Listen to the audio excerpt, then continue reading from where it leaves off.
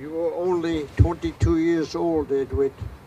Yes, 22 years old only. We have both been trained in different and successive training camps in England. Exercise after exercise, day by night, by day by night, in all weather conditions, and under the fire, fire of blank bullets. Edward, you became a well-trained soldier and an excellent combat medic, knowing all the secrets of the machine gun as well as the shots of morphine and tourniquets. During the spring of 1944, our unit I will just interrupt uh, shortly your speech because we have the flyover. In 1940, the whole family is living in Paterson, New Jersey.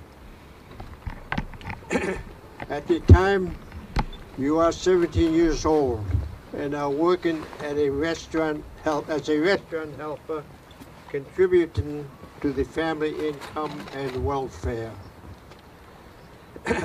but second, the Second World War is coming, and as many other young men of our generation, you decide to enlist in the U.S. Army in order to defend your, defend your values, your adopted country, and to liberate Europe from tyranny and Nazism.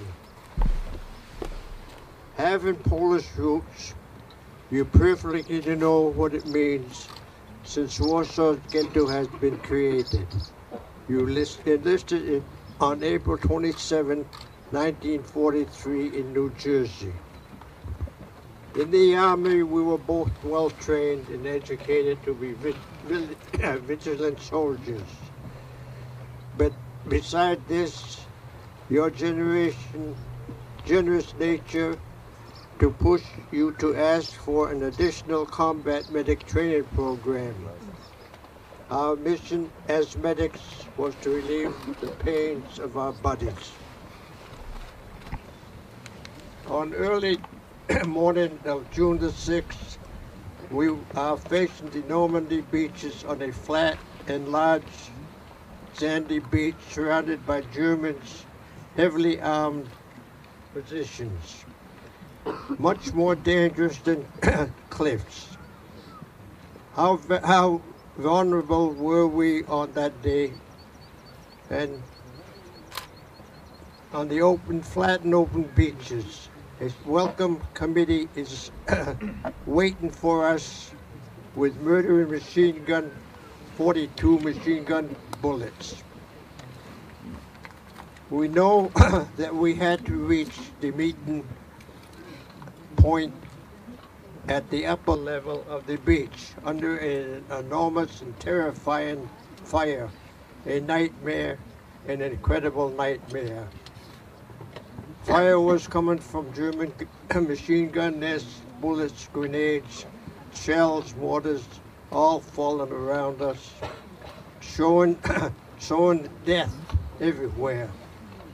We were all in a state of uh, consideration.